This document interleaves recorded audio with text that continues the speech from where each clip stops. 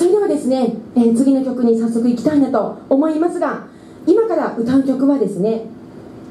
えーテーマがプロレスになっておりまして、えー私昨年ですね17ライブ配信というものに力を入れ始めてから、え女子プロレスラーの倉垣翼さんという方にお会いしましてそして、え試合をね見に行かせていただくようになったんですけれどもそのうちにいろんなレスラーの皆さんが戦う姿を見ておそらく皆さんも現代社会の中で戦ってること多いんじゃないかなって思いました。何か嫌なことにぶち当たった時に自分を責めたくなってしまう。その時になんであの人はこうなのになんで自分はこうなんだろうってすぐ人と比べてしまう。